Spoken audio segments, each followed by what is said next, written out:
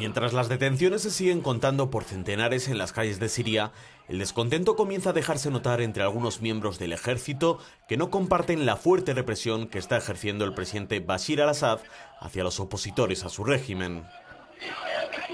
Según el testimonio de un militar que habría desertado de las Fuerzas Armadas de su país, los militares tienen órdenes expresas de sus superiores para disparar contra todos los manifestantes.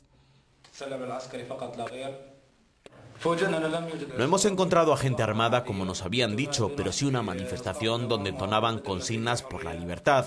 Nos ha sorprendido que las fuerzas de seguridad estén utilizando armas de fuego para matar a la gente que se manifiesta y disparen sobre los niños y las mujeres. Hemos recibido la orden de los oficiales de abrir fuego sobre todo lo que se mueva sin excepción, incluso sobre los niños y los viejos que no lleven ningún arma.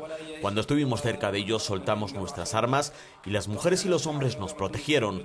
Cuando los oficiales vieron eso nos dispararon. Uno de mis compañeros fue alcanzado en el hombro y hemos conseguido esconderle en otro sitio, señala este militar a la cámara.